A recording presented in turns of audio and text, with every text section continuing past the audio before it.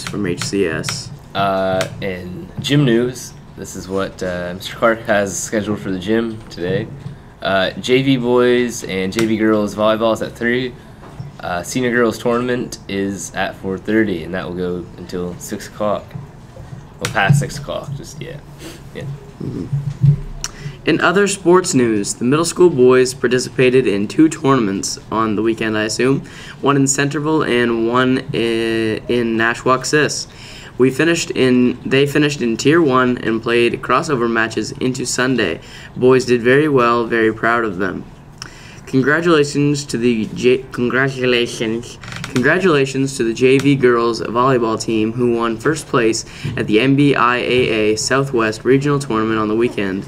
The girls will be traveling to Baie-Sainte-Anne on Friday and Saturday to participate in the NBIA Provincial Tournament as the number one seed from this side of the province. Congratulations, girls. Hash, is it number one or hashtag one? Uh, it's hashtag one. yeah, Hashtag as one. the hashtag one seed. Uh, the senior boys volleyball team was very successful in winning their home tournament over the past weekend as well, winning all of their matches. It's loud in here, guys. yeah, let's keep her Thank on you. the down low. The boys won the championship game versus Chipman on Sunday afternoon. Sorry for that. They probably couldn't hear it. But Just a shout out to, uh, yeah. Uh, the John Raymond School of Cosmetology will be hosting an open house event on May 3rd from 2014 to 10 a.m. to 4 p.m. wait, What? you said May 3rd from 2014. May 3rd, 2014, from 10 a.m. to 4 p.m. They will be offering educational sessions about programs as well as demonstrations of techniques.